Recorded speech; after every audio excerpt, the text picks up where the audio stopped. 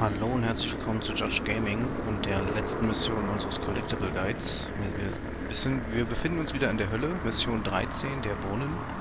Wir haben den ersten größeren Bereich hier hinter uns gelassen und äh, diese Tür hat sich jetzt geöffnet.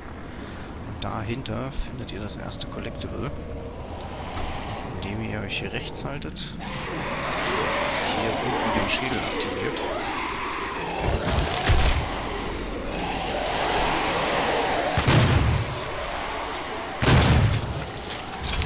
hier hinten diesen Stein wieder hochspringt.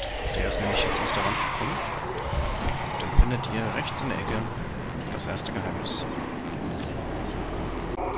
Ebenfalls noch hier in dem Bereich, bei diesen beiden großen Statuen, findet man, wenn man dem Hauptweg folgt, hier oben rechts auf der Seite die Automap dieser Karte. Und der Hauptweg geht dann hier über diese Schlucht weiter. Wenn ihr hier beim ersten dieser drei Seelenviecher angekommen seid und diesen äh, dahin gerafft habt, dann öffnet sich die Möglichkeit, den zweiten geheimen Schädel zu aktivieren.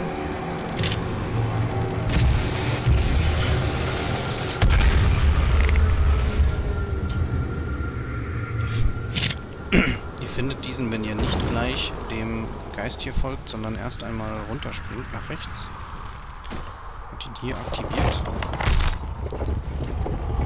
Dann geht ihr in Richtung des Hauptweges weiter und haltet euch aber rechts.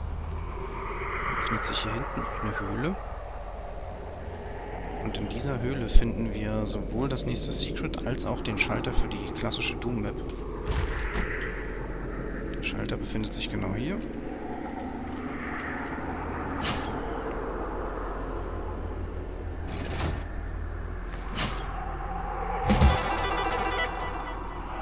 Hier öffnet sich die Doom Map. Von der Doom Map aus, gerade nach oben, weiter in der Höhle, finden wir das nächste Geheimnis. Ein Tipp von mir, geizt in diesem Level nicht mit der BFG. Man findet mehr als genug Munition dafür. Nachdem ihr in diesem Bereich alle Gegner geklärt habt und die linke Treppe zu dem nächsten Seelenfresserviech hochgegangen seid, seht ihr hier innerhalb der Treppe ein Loch. Hier könnt ihr euch hindurchfallen lassen und das nächste Sammelobjekt mitnehmen. Nachdem wir uns den Hauptweg folgend durch diesen riesigen Totenschädel haben fallen lassen, seht ihr hier eine verschlossene Tür auf der linken Seite. Also wir kommen von dort, hier links. Um dort hinein zu gelangen, gehen wir hier einfach den Gang weiter und drehen uns hier oben nach rechts. Dort finden wir das dritte Geheimnis dieser Map und öffnen damit diesen Schädel.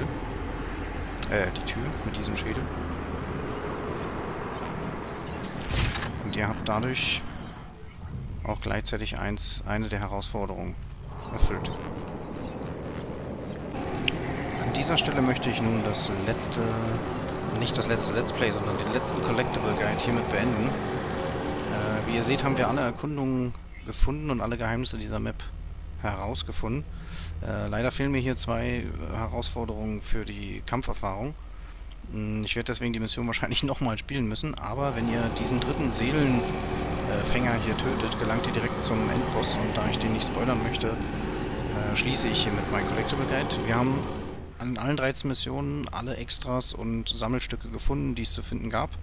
Ich hoffe, das war euch eine Hilfe und für alle, die Doom jetzt noch anfangen wollen zu spielen, äh, tut's auf jeden Fall. Das Spiel lohnt sich und ähm, ja, dann sehen wir uns im nächsten Video. Bis dahin, ciao, ciao.